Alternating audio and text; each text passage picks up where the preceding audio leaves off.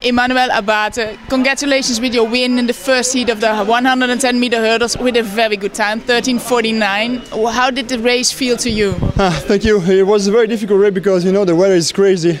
I came out from the car room, it was rainy. Then going to the track was was sun, and then a, a lot of rain during the, the, the race. So uh, it was difficult to, to to stay focused. But I'm happy for my time for 90 season best and be standard for, for Moscow. So I'm very happy.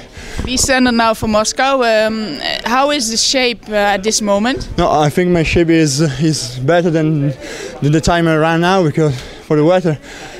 I think I can run under 13:40 very very soon. And, and the goal from now, yeah, you have already you are already experienced runner uh, with championships and also last year the Olympics. What's your goal for this season? Um, I, I, at the start of the, of the year, I said I wanted the final at the World Championships. Then I had a lot of injury, a lot of problems, a very difficult winter. So now I don't know, but my dream is, is still the, the final at, at Moscow. How is the Italian team doing? Doing, we are doing our best. Uh, other teams are very strong, so we're doing our, doing our best.